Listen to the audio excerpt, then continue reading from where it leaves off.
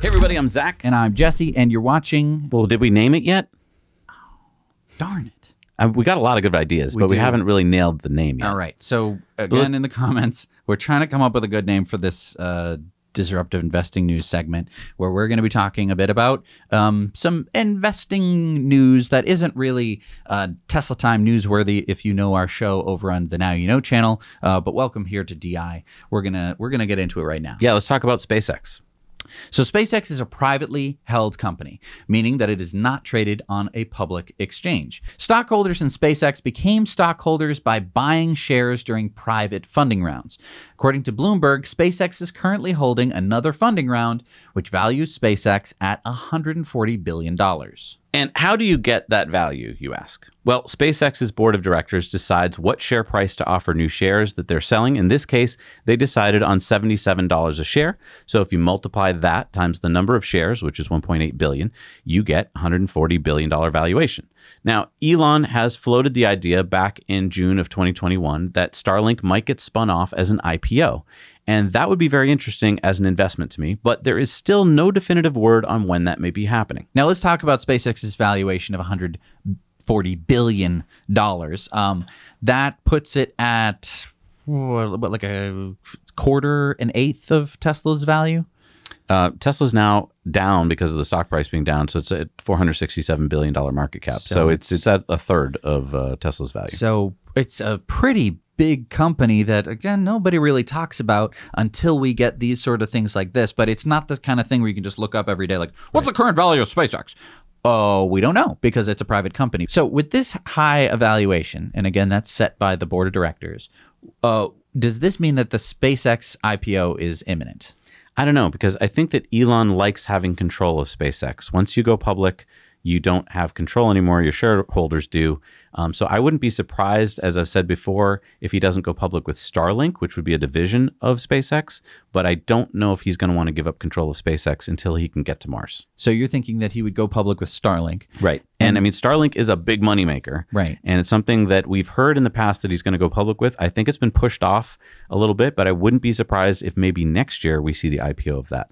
And basically Starlink is some proportion of this 140 billion dollars, right? Right.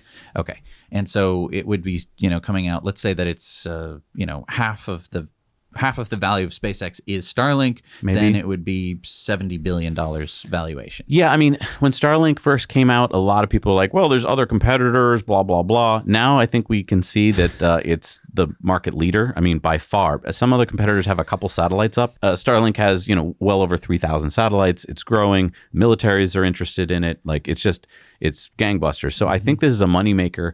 Um, and maybe that would be why he wouldn't want to release it because it's just a kind of a moneymaker for SpaceX. But because it's military and stuff, I think they kind of want to see this as a publicly traded company. Uh, they don't, you know, the military doesn't generally want one guy to control every satellite. Um, so I'm just we're telling you this because maybe you want to keep this on your horizon and maybe start setting aside some money if you think this is a good investment. Again, we're not financial advisors, do your own research, but if you think that like, hmm, a Starlink IPO, I'd be interested in that, well then you want to be ready for it. And I'd like to move on to our second story here, which is on Zeekr. Um, and we called it, didn't we? Huh?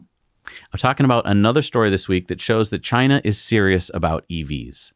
So Zeekr is the premium all-electric brand that was launched under China's Geely Holding Group back in 2021. They have filed for an IPO last week to help fund their $1 billion expansion plans. So Reuters reported that Zeekr would have a valuation of more than $10 billion when it goes public. During its last private funding round, Zeekr had a valuation of $9 billion. So the US IPO could come as soon as the second quarter of 2023. And Zeekr is currently making the Zeekr 001 and has started building out a charging network in China. So would this IPO be funding factories and expansion into the U.S. and Europe?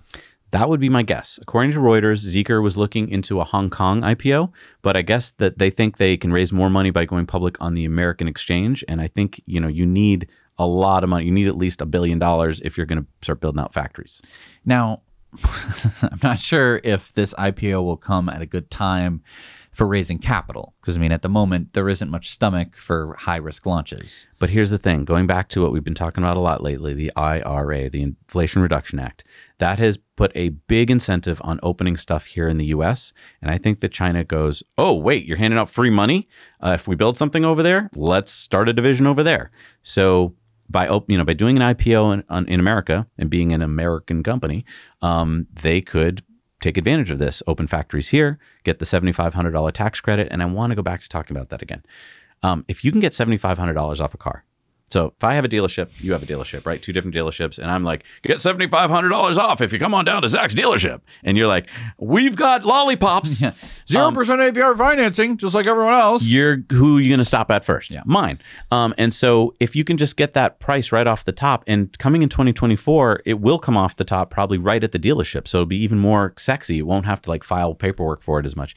Um, I think that everyone in the car industry knows this, and they're going, "Wow, we gotta we gotta take advantage of this." And they've got ten years, right? It doesn't run out. This IRA tax incentive doesn't run out for ten years, but you got to get moving on it because if you're going to be competitive. So I think what IRA just did was create the Zeekr IPO. Like all of these things that are happening are like, why are they happening now? It's because the IRA. Interesting. Anyway, please comment down below what you think and let us know what kind of stories you want us to cover on this new show that we're doing on DI. And don't forget to subscribe and like so that we can keep bringing you this kind of thing. And we're hopefully going to be bringing you more, like all the interviews that we do on DI. That's all for you so that you can be more informed as a disruptive investor.